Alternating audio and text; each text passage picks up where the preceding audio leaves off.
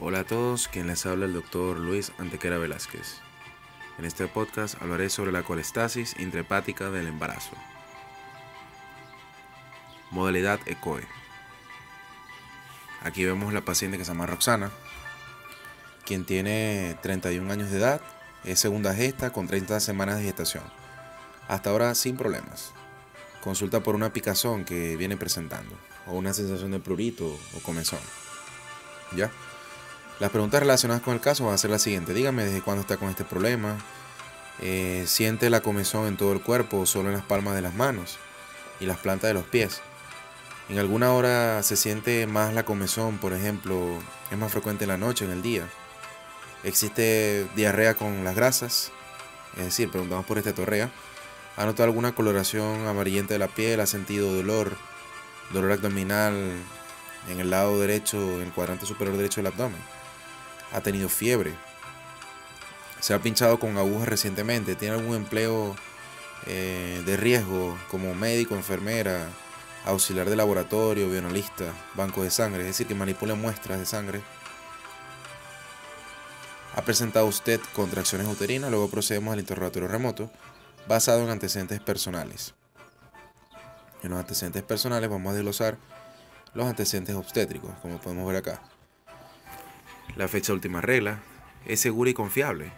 El número de gesta, para, aborto, cesárea, parto prematuro espontáneo.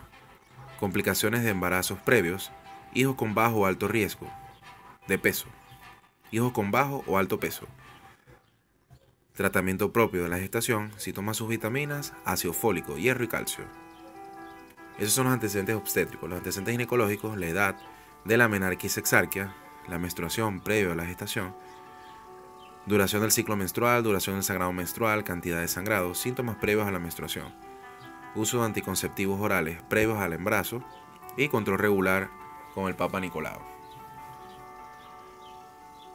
En los antecedentes personales, algún antecedente de importancia cardiovascular, trombosis, asma, tiroides, epilepsia, algún problema metabólico, diabetes, hepático, vesícula, enfermedades infectocontagiosas de transmisión sexual, como gonorrea, sífilis, HIV, virus del herpes, TBC, hepatitis o herpes. O en caso también hay que preguntar mucho sobre las infecciones urinarias a repetición. Cada antecedente positivo hay que preguntar de inmediato si sigue un tratamiento regular o irregular.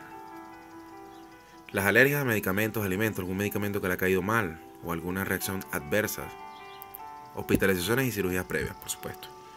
Luego antecedentes familiares, los heredables, muy parecido al interrogatorio de medicina interna de hipertensión, diabetes, vesícula, cáncer en la familia, hábitos eh, tóxicos, sexuales, actividad física, de qué trabaja y cómo es el hogar. Y el examen funcional corresponde a los síntomas no referidos en, en su motivo de consulta. Siente el feto, ha tenido contracciones uterinas, ha tenido pérdida de líquido por genitales. Se le explica que es un líquido que tiene un olor parecido sui generis al semen. Un líquido que corre por las piernas o moja la ropa interior. Flujo vaginal, color, ardor, prurito, ardor para orinar, urgencia para orinar y dispareunia. Secreción mamaria, fiebre, disnea, palpitaciones, tos, expectoración, acidez, reflujo gastroesofágico, llenura postprandial. Bien.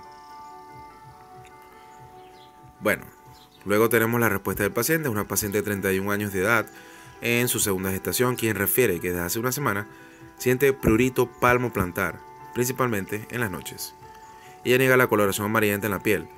Refiere antecedentes de fiebre reumática en la infancia, niega antecedentes de ITS y trabaja como contadora.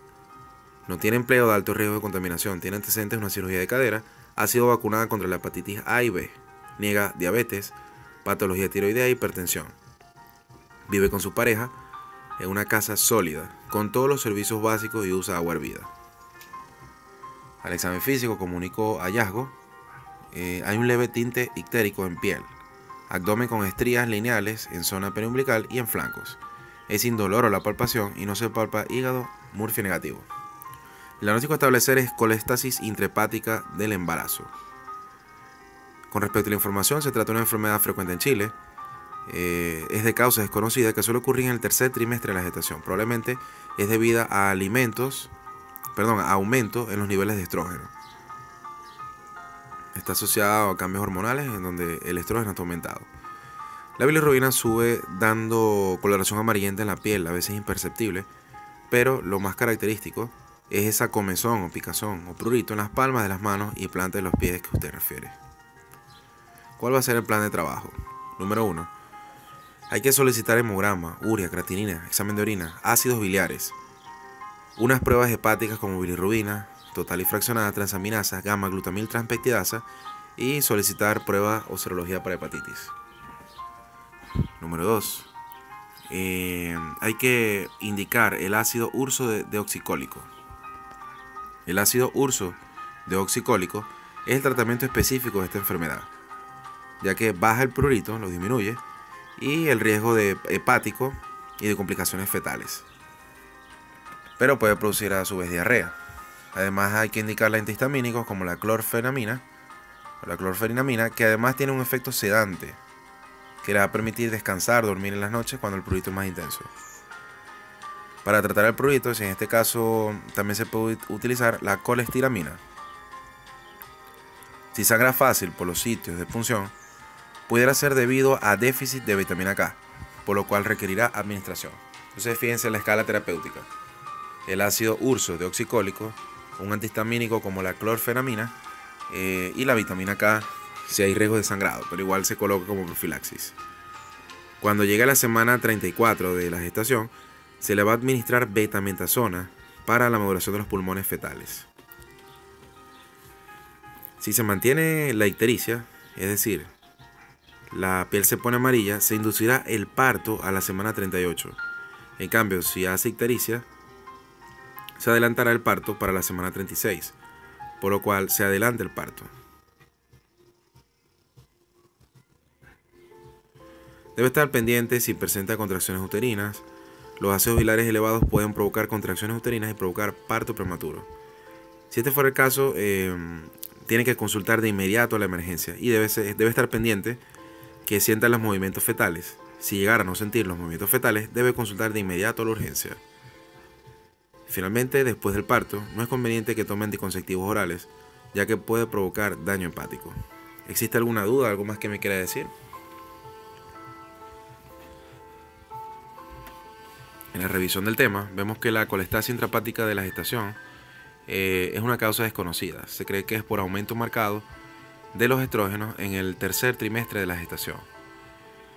El diagnóstico va a ser netamente por clínica y laboratorio. La clínica va, va a cursar con ictericia con prurito intratable, en especial en palmas y en las plantas de los pies, que empeora en las noches.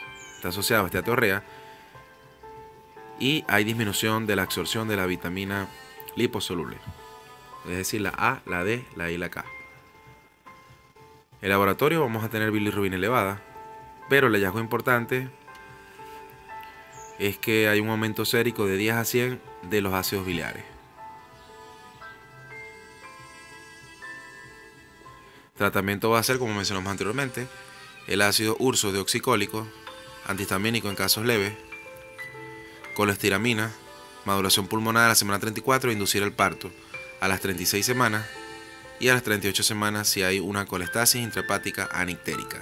A la semana 36 si es ictérica y a la semana 38, repito, si es anictérica. Luego continuamos con lo que es el hígado graso agudo. Gracias por su atención.